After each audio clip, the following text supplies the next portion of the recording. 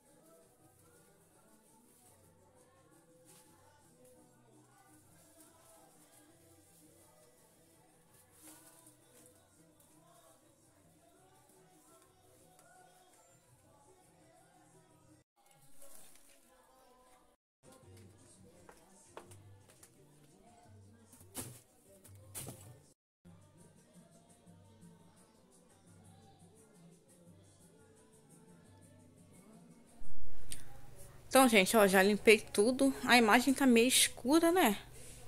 Tá meio escura, gente, porque tá nublado, mas tá bem escura. Limpei tudo, varri, afastei as coisas para poder varrer bem perfeitamente. Então tá tudo limpinho. Aqui tá as nossas toalhas, né? Coloquei aqui. Então tá assim, gente. Eu botei o lençol aqui.